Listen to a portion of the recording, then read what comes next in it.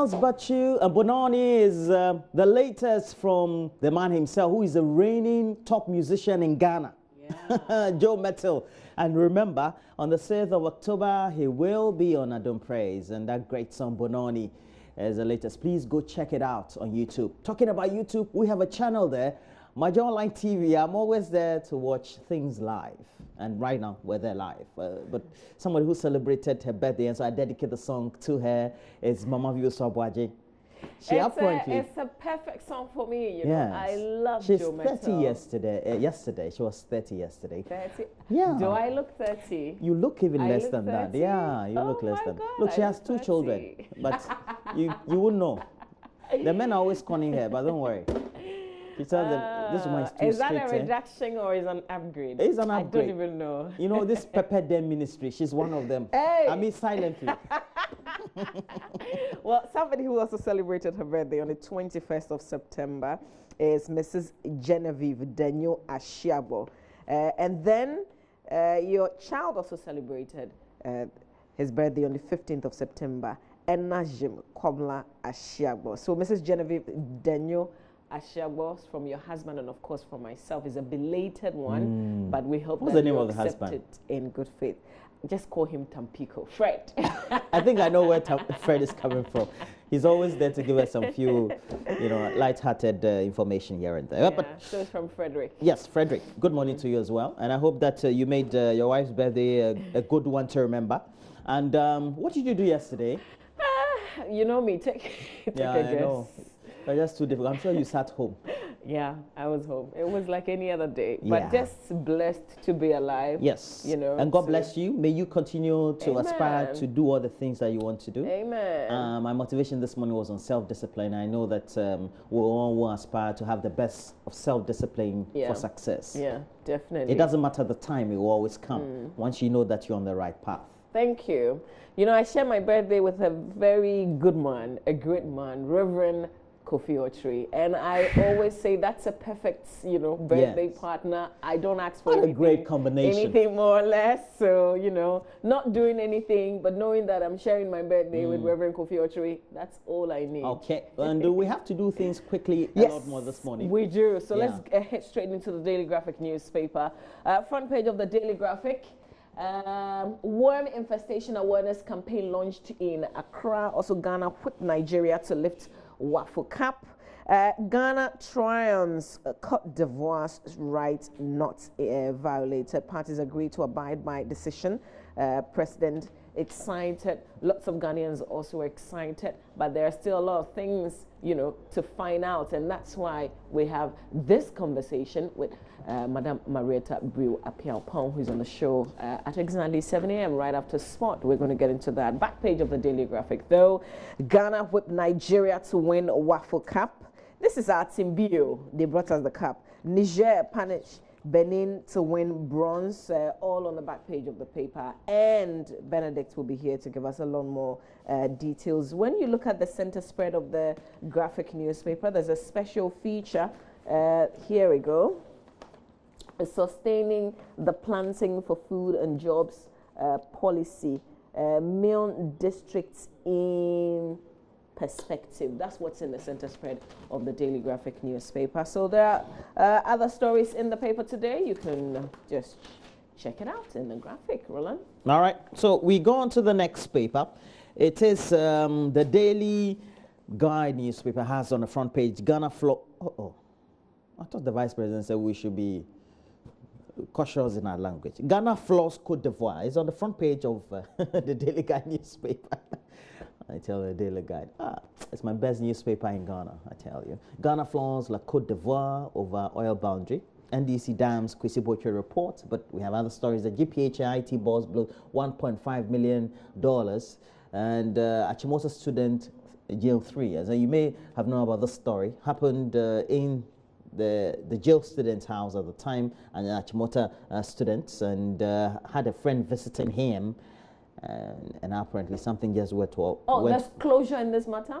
yes, and something just went off with with a gun that belonged to his parents or his father or something. There was this bizarre, the Yeah, set- I was just, it wasn't uh, so clear. yes. So he got a jail term of what, three years? Three years. Okay. more like a case of manslaughter or something. Mm. Charlie, it was a very um, bad period then. I know I feel sad for the student, but more so for the parents of um, the one who has also who been. Mm. Mm.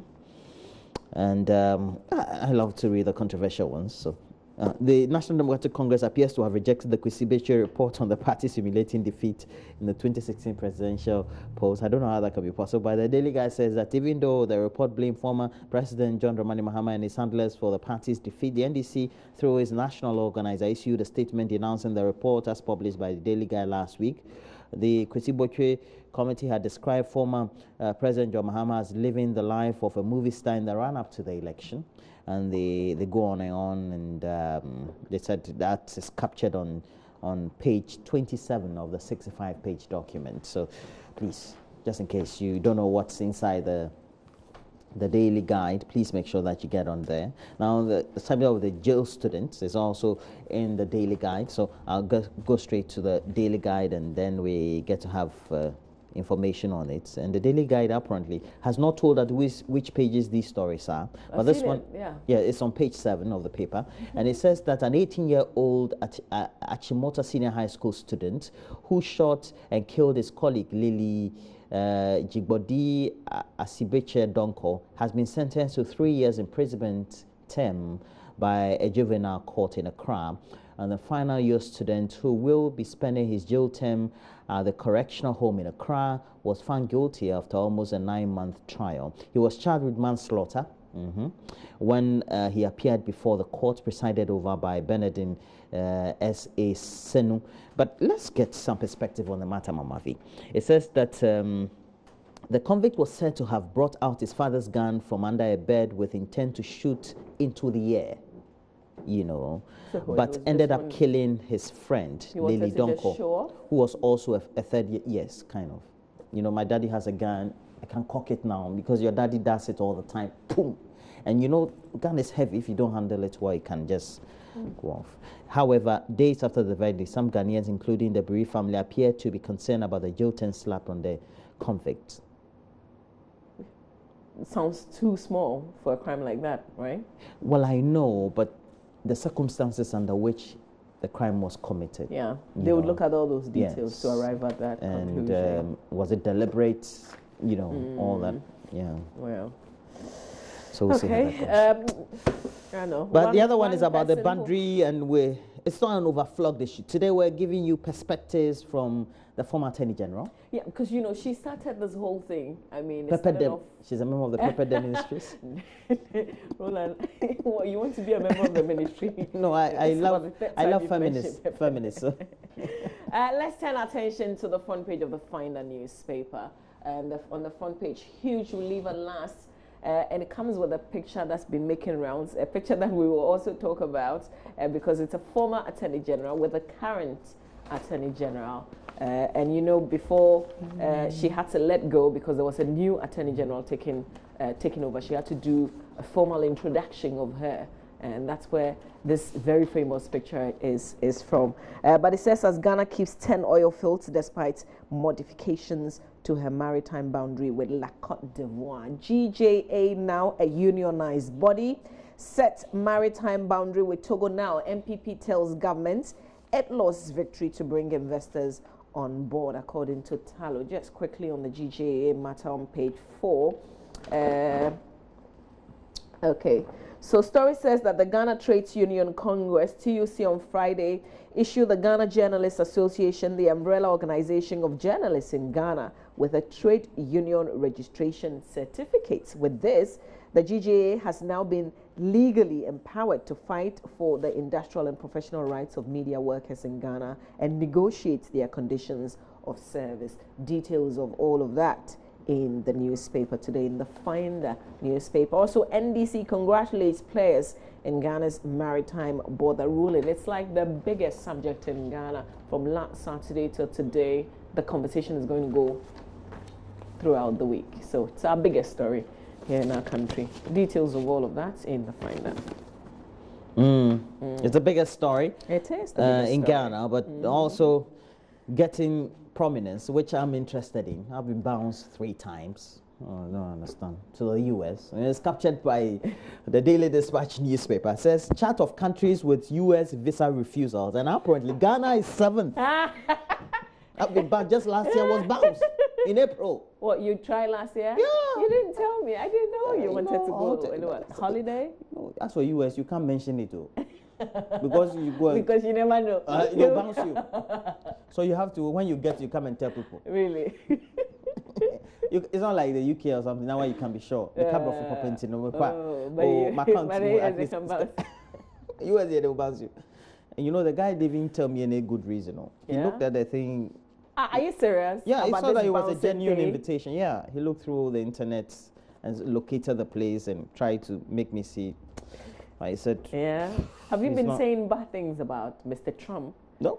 Because It's apparently these days they go through your social media. They look at what Oh, you've no, been I doing on social media. I don't. I Eh, don't. but and they- then and then but they bounced you. and then the gentleman looked at me, some young boy, oh, small boy, be. Yeah, me, ah. You didn't appeal. Can't you appeal? Oh, master. Even the, the I was in a queue before I went to the place. So Roland, that can't be true because you know the U.S. embassy does not encourage queues. They give you a specific time when you should report. I'm telling you you only go and queue when they've given Yes. you like one o'clock and you go there like eight a.m. No. nobody will mind they you. gave me a specific time and I queued. Because there were people there who ah, had but they me at you and they bounced you. Oh, but who am I? Can't take far. Chat of countries with US visa. if you've been Ghana bounced before, I want to hear no about wonder that. I'm one of the statistics. If I'm, you've been bounced before by the, the, the U.S. embassy in, I'm saying in no Accra, wonder I'm one of the statistics. let me know if you're part of this. Uh, Look at it. I'm one of the statistics. Ghana is seven, Seven. with 65.7 Look at seven. I'm there refusal rates. with 65.7. Donald Trump, I love him, man. Ghanaians who fly private jets, they're also behind there. And um, so those are the stories we have, um, Mama V, in the Daily Dispatch newspaper. And today is World Pharmacist Day. Apparently, that's uh, that's in the. I'm looking at it in the Daily Dispatch. yeah, today's World Pharmacist Day. Yeah, yeah, Mm. true. We we celebrate our our pharmacists. Mm. We haven't heard of a a strike this year. Yeah. Hey. Please don't go on strike. Are you prompting them? I'm not. I'm Well- just saying. Mama you, you just celebrate your birthday instead of saying good things. Let's do the Business and Financial Times newspaper, shall we? It's the BNFT front page. Ghana Ivory Coast boundary dispute settled. Ghana keeps oil fields boundaries clearly delineated. Mm-hmm. Also, new oil field operations double energy revenues. It's like, oh my God, we were sitting on something we didn't know. Uh, and then suddenly the thing has been lifted. So we're free to do whatever it is we want to do. Uh, on the back page of the BNFT, fight against worm infestation in children gets major boosts. Uh, and it says that the fight to eradicate and subsequently prevent worm infestation in children has seen a major boost with the launch of another collaborative effort between the Pharmaceutical Society of Ghana, uh, Ghana Education Service, and Janssen Pharmaceuticals uh, of Johnson and Johnson. Details of that story on the back page of the Business and Financial Times. Also, First Allied donates cement and cash to Ashanti Regional Police. Uh, more stories in the Business and Financial Times. We encourage you to get the papers and read the details. Roland? Okay, so those are the stories we have. We have to go to the online portals, V, Oh, and quickly look at the stories um, that are published there. And uh, you go to myjoyonline.com. We will, but not before we share a few of Mm-hmm. your messages uh, coming through. Um, all right, this one says, We thank God for winning this case, and it will help the president to complete the free SHS uh, by Abdullah from Berekum. All right, uh, this one also says, Oh, lots of you wishing me a a happy birthday. Well, thank you. But this one says, Tomorrow, 26th, is my birthday.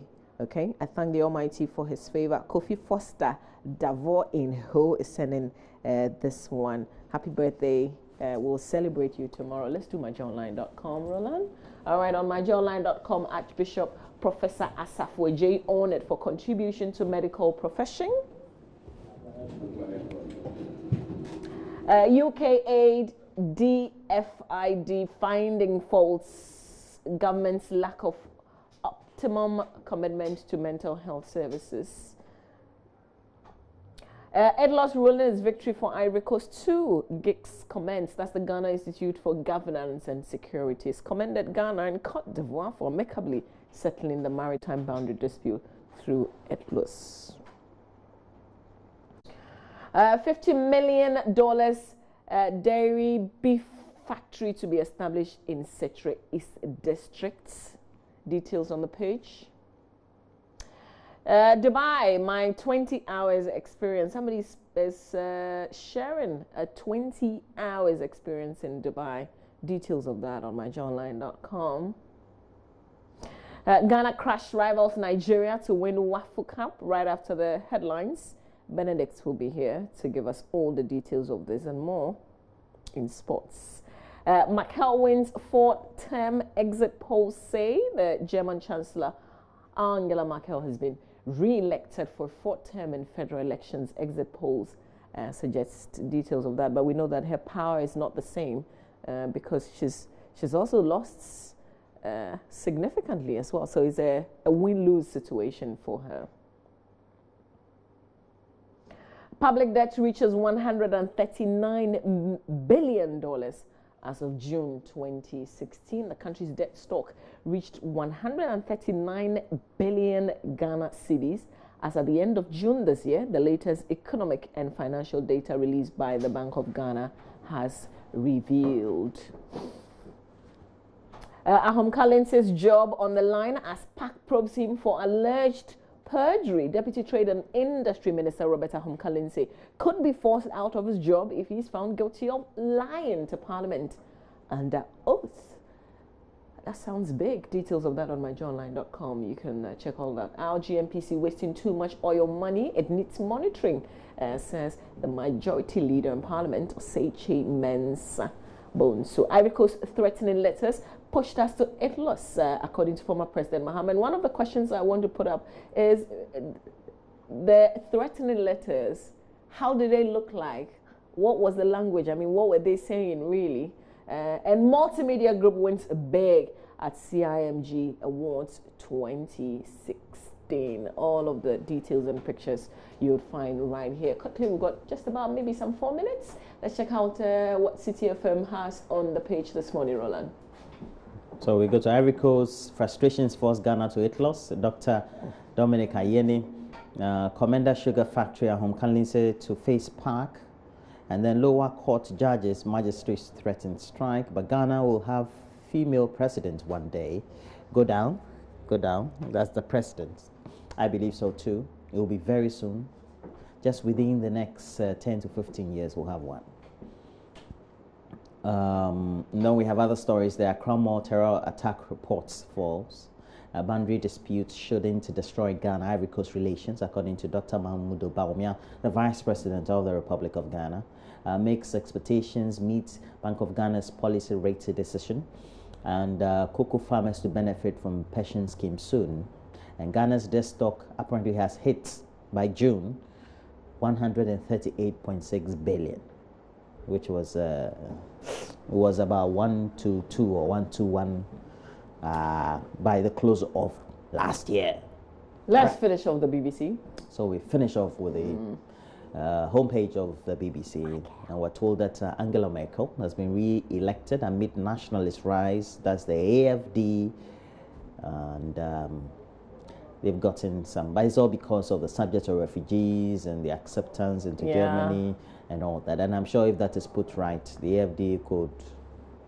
And um, Angela's power is not the same after this election. No, right wing. Uh, now they have to. It has to be. It's almost a situation like what um, Theresa May had to face. Uh, try and come up and form a government and it's uh, but we hear that she's a, a great negotiator so mm, she's already been the, the, party had already been a coalition so i think that uh, and they will be joined by parliament in parliament by the nationalist uh, afd so mm. okay uh, so we've got other stories there uh, you can check uh, the stories out on any of the pages. But we encourage you to buy the newspapers. That's the only way they can survive in the business. So buy the newspapers, check out other stories uh, but the newspapers, I think, that need to have portals and ways of selling some uh, of them soft do. copies. Some of them do. Well, I know. Uh, Dan Megoro in Wa. Thank you very much for your message to me.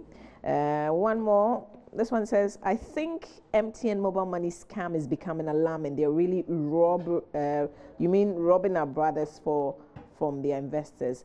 Darren Tamale, Roland, we've talked about this, and I think that if you're, you're talking about MTN specific, when you dial their number, there's this uh, a reminder of the kind of activities that people That are is- doing with the mobile if you, money. if you dial. Yeah. But the So when thing you're is that calling the actions- somebody, But the actions, uh, when you're sending money, I may not necessarily be an MTN user, but I have to send money to somebody who uses MTN. okay, but we know that it's not just MTN; it cuts across. Yes, it cuts It across, cuts but across. It, it, but I, I guess just not to be partial and Mm-hmm. just to be speaking to one Yeah. uh, tele, telecom network. So just But this is this is something that's been on my heart, uh, uh, dairy. So we'll deal with this subject. It's a matter that it's something that we all face once in a while. We've had close people around us who've gone, uh, you know, who've been scammed as well. So we will Yeah, I deal have with this two. subject. You have? two. Yeah, they were taking one was five hundred and something. One We'll talk about that tomorrow. Let's make way for Benedict with sport, after which we'll come back. It's a one on one with the former Attorney Gen-